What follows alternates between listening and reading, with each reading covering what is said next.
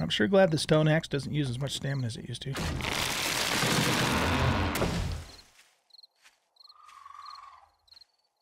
Get his attention. No, it doesn't seem to. Maybe that's my uh, my ninja skills working for me here to keep me alive.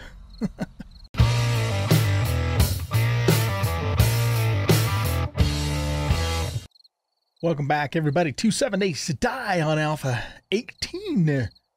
We are playing this game on insane difficulty, nightmare speed. The zombies run all of the time, day and night. And this is episode 3. I Hope you guys enjoy. Okay, so it is our first night now, and uh, we are uh, out on a roof here. So what I've done is I've set down uh, a chest, and actually, you know what? I was going to grab that stuff and turn it into Cream. So let's do that. Um, so I kind of put some of the extra stuff that I don't need to carry around with me all the time in this chest here. And um, freed up some inventory space. And so uh, what we're going to do, um, what my main goal is in this episode, is I want to find a cooking pot. Because um, we took that first point in Master Chef, and uh, now I want to find a cooking pot. Now, one of the things, I don't know if I mentioned this in uh, you know, the first two episodes.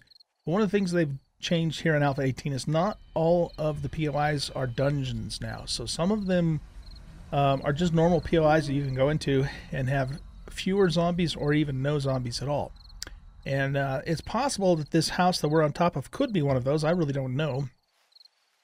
And we do have Zeke's, you know, kind of walking around too. Almost sounds like that guy spotted us maybe because of our light or something. I don't know. Uh, but we need a cooking pot. Uh, very important that we get one of those. So that's kind of going to be our main goal uh, for this episode. I still have, I still like to kind of uncover a little bit more of the town. There's a little area up here and maybe a little bit over here too before we decide upon our actual permanent location. Uh, so that's pretty much what we're going to do. I need to get some stone too because my stone axe is broken. And I want to start making some, I want to start making some wood spikes because we're going to have to put those to use. And I want to start making some uh, barbed wire. Hopefully we can make barbed wire uh, just from iron like we used to be able to do without anything special. Barbed wire fence. Ooh, so it looks like maybe they removed just the normal barbed wire. And, um, and now we have to do the fence. Hmm, okay. That kind of sucks because I, I, used to like to make just the normal, you know, flat panel barbed wire because it was really good for like blocking doorways and stuff. Um, I don't know if these are going to be as effective or not, but it looks like that's really our only option anyways. So I guess we'll, yeah, I guess we'll make some of this up once we obtain some more iron and uh, we'll see how those do. I never really used those, uh, at least not for that purpose. So we'll see how, how they do. Uh, spikes are still definitely useful. I mean, I was using them a little bit in in um, on the multiplayer game, and um, so you know those are still useful for sure. Uh, the problem I'm having now, though, is I don't have room for all this stuff on my toolbar. So let's, um, I guess we'll put the pick there because we've got to get some stone and repair our axe before we do anything else because we're going to need that axe, of course. Um, all right, so let's go ahead and get started. I'm going to I, I am gonna not try not to use the torch too much because it you know makes me a lot more visible.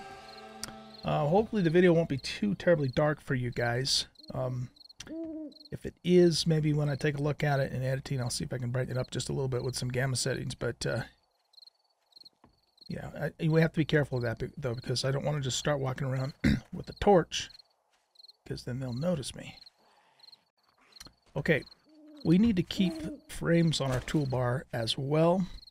So it's starting to get a little bit iffy as to what to keep on the toolbar because I kind of need all of this. I guess we don't really need the spear so much on the toolbar.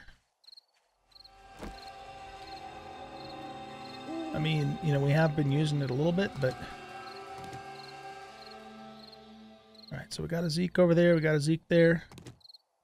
Let's just uh, be really careful and really quiet. We got to get some stone. That's what we got to do. I'm going to leave that block there. Just kind of as a reference. Uh, I think we'll just we'll just use nerd poling to get on this roof because uh, if I do a ladder, then you know they could potentially get up it. Okay, so let's um see if we can get ourselves a little bit of stone so that we can get our axe repaired.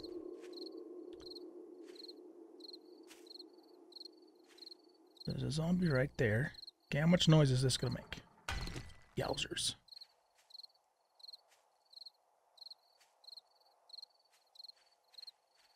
Uh, I think, yep, that zombie's feral too. So I I said something yesterday, and I think I'm going to retract that statement. I said that because we're on always run, nighttime doesn't matter, but I don't think that's entirely true because I was seeing this in the multiplayer game too, and it seems like ferals come out at night. I mean, like a lot of ferals. And we do not want to mess with them. Absolutely do not want to mess with them. So nighttime is still definitely more dangerous than daytime is. Um, so, you know, we're going to, that doesn't mean we're not going to go out at night at all, but we just have to be really, really careful. Really mindful of that. Okay. So let's see if we can move away from these Zeeks.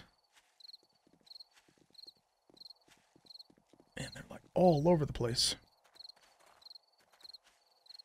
I did read in the patch notes that the zombies, you know, that they increased the zombie spawns in the wasteland at night. But it kind of seems like they increased it. They increased them all over the place, not just the wasteland. See, they're just, I'm damn near surrounded by them. Let's repair that.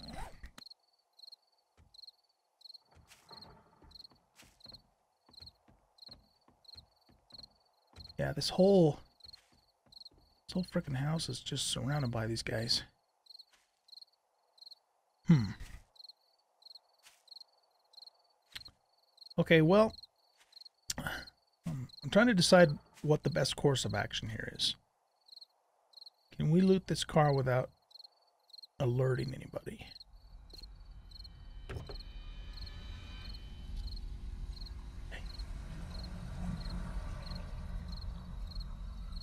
Okay. Yowzers, that's loud. If you're watching my, my stealth meter in the lower left-hand corner, uh, both when I open the car and when I close it, it jumped up to like 51. Hopefully that uh, point that we put in hide in the shadows is working for us. I think it is. Hmm. I don't know, man. I I just don't think it's going to be wise for me to try and do a house in the dark. We, we need to wait till daytime for that. So, which means we're probably not going to be able to get a cooking pot until daytime. Um, so I'm just trying to think what we should do. You know, something too that we could try and do as far as the questing goes is we could try and, you know, cancel our current clear quest and go back to the trader in the morning and see if he has a, uh, you know, and see if it'll replace it with a dig, you know, a buried supplies quest. Because I'm just not ready to try and do a kill quest yet, or a clear quest, I should say. Trying to see if this guy's a feral. Can't really tell. The primitive bow does not give us much of a zoom.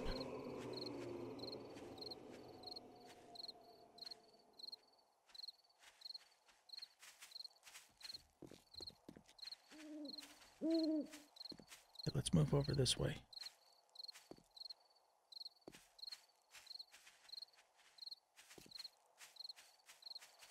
Can we loot this bag? Yeah, that I think that's too risky. He's too close. He's gonna hear it. Yeah, let's we'll hit that bag later. Since it's right in front of our our current house anyway. Okay, well let's uh, let's just move away from the zombies and see if we can get into a place where, you know, they're not all over the place and then go from there. If we're not going to uh, do any POIs at nighttime, we have to come up with a Well, I guess you know what we could do is we could explore the rest of this area and maybe see if we could sneak over and explore that area. Let's go ahead and do that. It's going to be a little bit slow going though because I'm going to stay crouched for a lot of this time. I was thinking about, you know, what build I'm going to do too. Um, uh, I think, you know, if this isn't already obvious, but the thing is, is I hadn't really actually made up my mind about this. But, you know, after giving it some thought, we're, we're definitely going to go for a stealth build. Uh, at least in this first experimental playthrough. Um, and yeah, I know I, I chose that stealth skill yesterday, but at that point in time, like I said, it wasn't really explicitly in my mind that that's what we were going to do, you know? But I think that's what we will actually do. One thing we could do is we could pick some, um, uh, let's pick some goldenrod and maybe even some chrysanthemum, because once we do find that uh, cooking pot, we'll be able to start making teas. I really would like to find some more, um, or some closer water, a little closer to the trader than the waterworks. But I don't know if that's going to happen or not.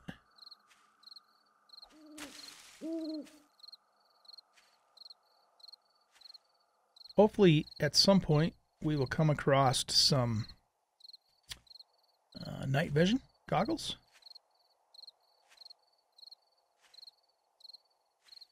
So that we can see better in the dark. I don't know, too. See, I don't know if the Fun Pimps uh, improved those or not. They were absolutely atrocious in uh, early Alpha 17. I never really bothered to use them again. But the problem with them is they turned everything green, but they didn't really brighten anything up. so it's like, it was terrible, man. So you, you still really couldn't see any better. It's just everything was green. So, um, I don't know, you know, if they've done anything about that or not. Okay, so we've got... Uh, the town kind of goes over this way a little bit more.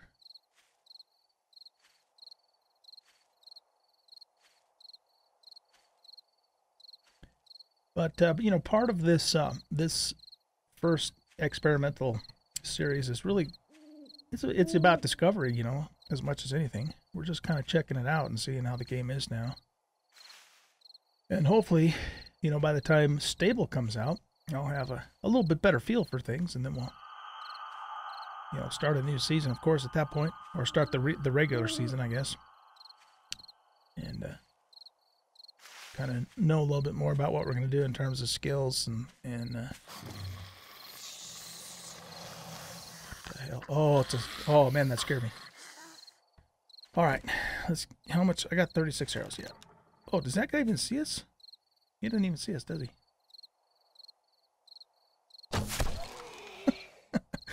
Let's bop him in the head. Get some free XP here.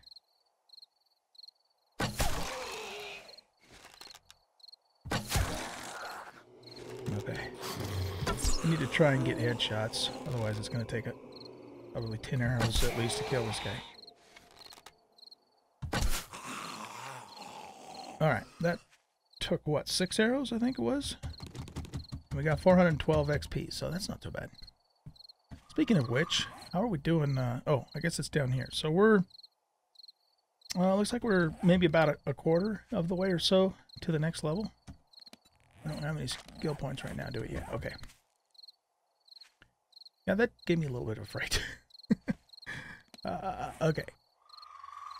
Yeah, let's go. Let's just keep moving kind of to the north here and just finish scouting out the rest of the town. I'm going to go ahead and stand up here since I don't see any Zeeks. Oh, no, there's one right there.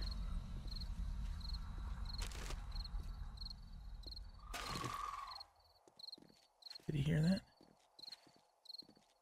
Alright. Alright, let's make some more arrows. Uh, no. Arrow. There we go. What are we short? Oh, stone, yeah. Should we try and risk whacking the stone with that guy over there? Let's just see what happens.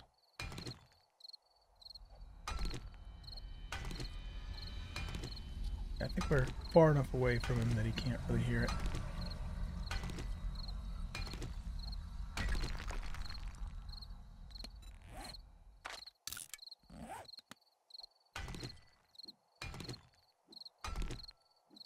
So yeah, we don't get uh, we don't get resources from the stone anymore, uh, other than stone itself, of course. But uh, we do now have, excuse me, the uh, actual, you know, mineral deposits like the iron and the oil shale and that sort of thing. In fact, yesterday when we were in the desert on the first episode, I actually pointed to an oil shale rock and told you guys that was iron, but it was actually oil shale. Magnum Enforcer Volume 2. These $29 suits look good and help reduce incoming damage. Take 5% less damage when wearing a suit. Okay, so there's like all kinds of books now, and they come in volumes. And if you read all the books in a particular category, then you get a bonus at the end. So this is Volume 2 of the Magnum Enforcer uh, category. Plus we get a little XP. All right, cool. That's neat. All right, let's go ahead and we don't need the frames right at the moment. So let's get the axe out. Whoa, don't get that out. and we'll harvest a little more wood and see if we can get another thing of honey out of one of these. So, yeah, just, um, you know, just because of the, the nature of playing on these settings, the game can be a little bit slow in the beginning. Uh, lots of sneaking around and stuff. Um, you know, it's just kind of the way it is, but as we start to level up and gear up, you know, it'll get it'll get more exciting. I'm not gonna, you know, be hiding and sneaking away, you know, sneaking from the zombies all the time. We just need to do it early on. So, you know, just kind of bear with me on that. Hopefully you guys aren't, you know, are, are staying engaged as much as possible. Um, it is, you know, it is intense. That's the thing. It's, it is intense doing this, even though there's not a lot of action going on right at the moment. And we kind of want, we want to keep it that way. we don't want a lot of action right now. Okay, here's an ironstone here. We're going to grab that because then we can uh, scrap it and we can uh, make barbed wire uh, from the scrap. Oh my god, that's loud. Woo!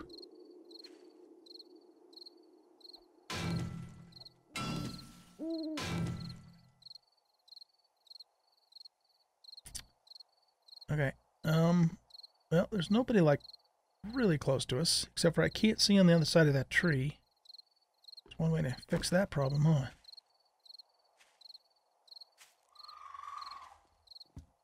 Oh, you know what? There's a Zeke right there, and the tree's probably going to attract... The falling of the tree will probably attract him.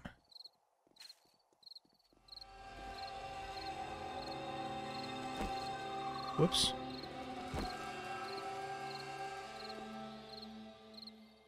Well, you know what we could do? If it does, we'll just kind of run down the road and get away from him. I just don't... I don't want that blind spot while we're trying to finish up the ironstone there, especially with how loud it is. Oh my goodness.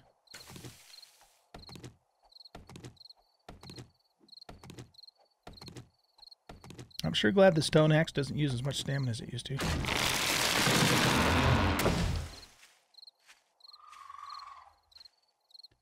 attention. No, it doesn't seem to. Maybe that's my uh, my ninja skills working for me here to keep me alive. I'm surprised that uh, that did not attract him. Quite surprised, in fact. Okay, now we also have like an iron, you know, more iron right below the stones too.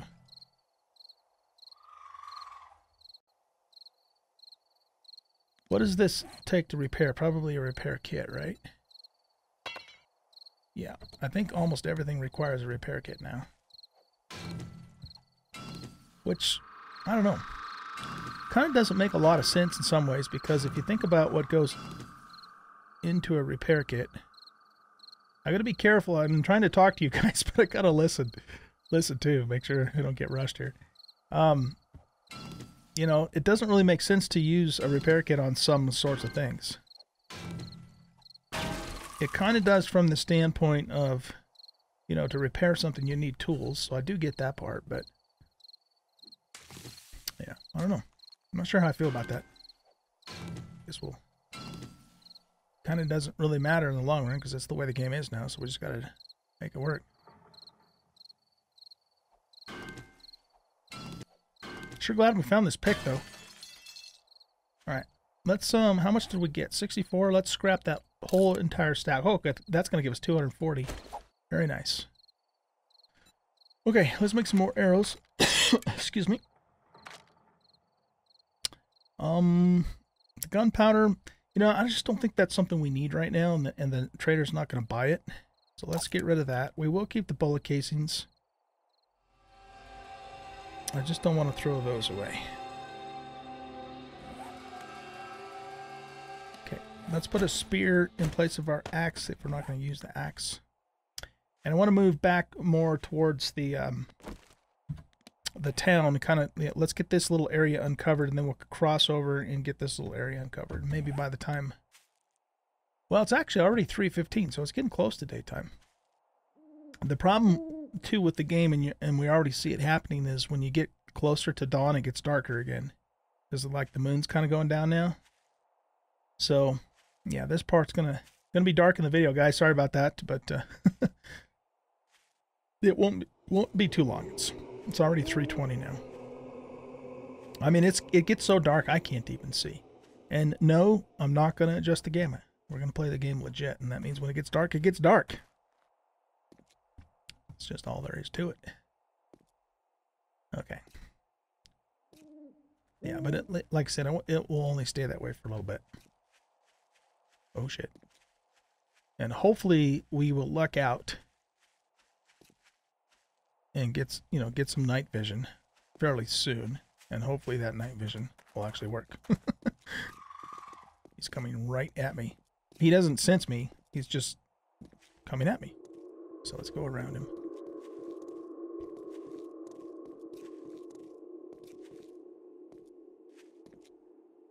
Yeah. Now there is there is a new breadcrumb trail system in the game and I don't actually know exactly how it works, but it's you know from what I understand of it, if you um, you know if you make some noise or do something that would alert them, unless they're looking right at you, um, you know they'll they'll kind of come over to where you know you've been, but they they won't necessarily come right to where you are.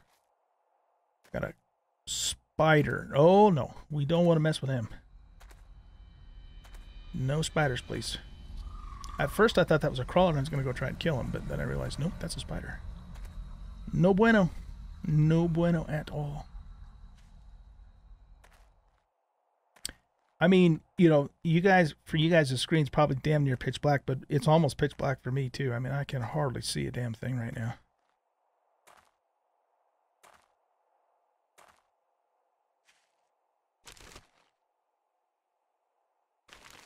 Nothing. Okay, which direction are we moving?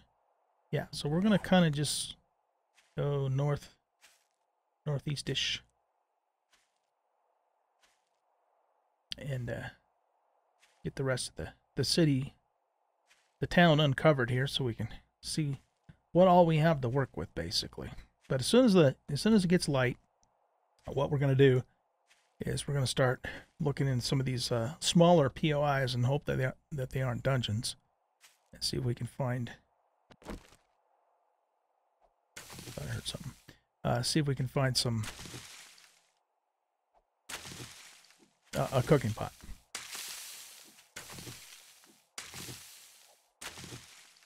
I'll, you know, I'll, I'll take a look at this. Oh, it's morning. Okay, good. I'll take a look at this, you guys, uh, when I edit it and see if I can brighten it up a little bit, but the problem with 7 Days to Die, at least earlier versions of it, maybe it's better now, is that when you uh, when you turn the gamma up, it's it starts to get like really, you know, washed out looking and looks terrible. So, you know, I'll see what I can do. Okay, there's a fire station. That's not a bad POI to base on. It's pretty stout. Um, that's something to keep in mind too.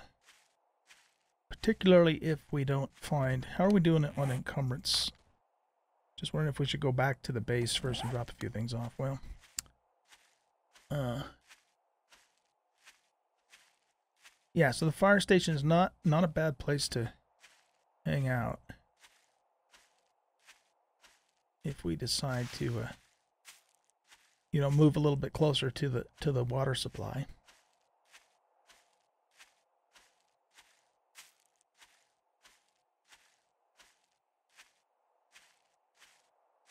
Yeah, I wonder if we can take a peek inside this garage here without uh, waking the dead, literally.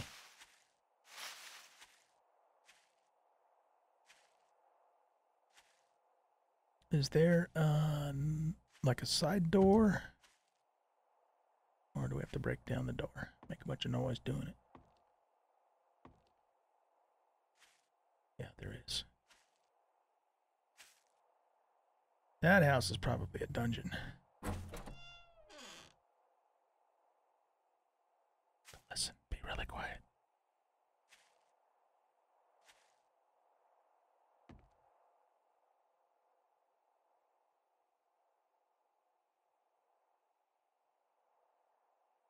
Ooh, look what's up there.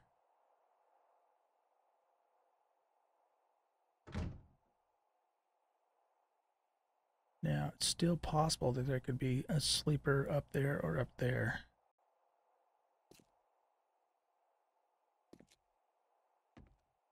I Don't think there's one up there. Okay. Um, working stiffs. Where's my axe?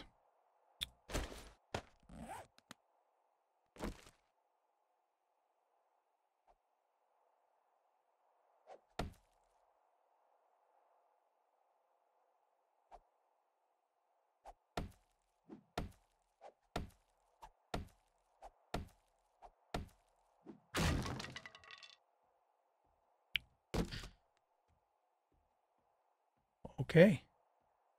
I will take both of those things. Hot damn, you guys. We got an iron axe, an iron shovel, and an iron pick. And it's only episode three. That's not bad. That is not bad at all. Uh, we can get some resources from this stuff, too. Oh, more lockpicks. That's good.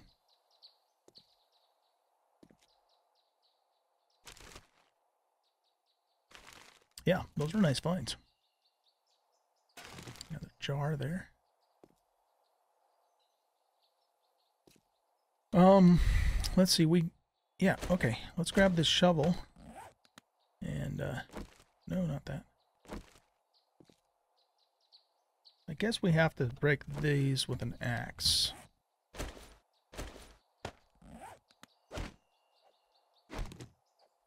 So we're getting plastic and paper.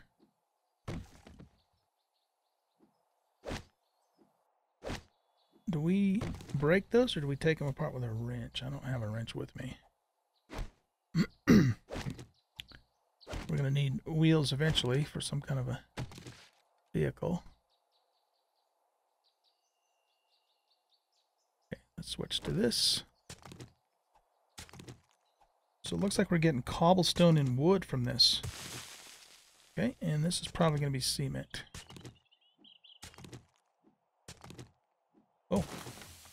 Good XP for that too. That's not bad. All right, cool. So this was definitely worth coming in and checking out. Don't see anything in there. Okay, cool.